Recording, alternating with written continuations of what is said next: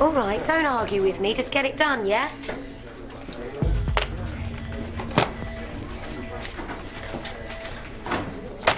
What's this? May have a bit of a problem here, Sarge. What is he, burglar, mugger, con artist? Worse, he's a comedian slash arms dealer. We've received information that he's planning to hand out a collection of dangerous weapons in the central London area this evening. Guns? Daggers.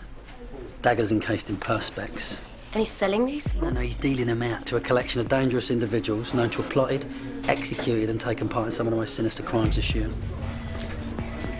Anything else on it? The rest of the file on them's in there. Okay, what do we got? One Alan Davies, obviously a made up name. Uh, pulled off a host of big money bank jobs, frequently spotted at crime scenes using the identity Jonathan Creek. And believed to have posed as a gay man called Bob in order to seduce vulnerable middle aged women called Rose in the Manchester area.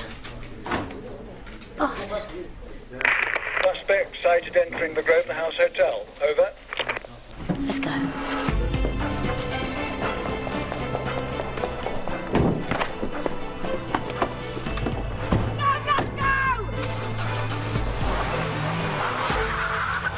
Ladies and gentlemen, please welcome your host, Alan Davies.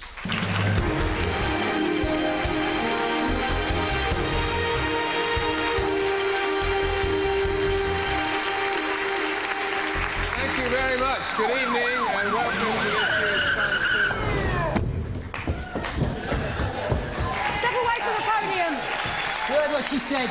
Girlie Bonds, you're under arrest. Well, no, hang on, this is confusing. I, I normally don't have any trouble following the bill. Let's see your lips, sunshine. And what's this about you giving out daggers, eh?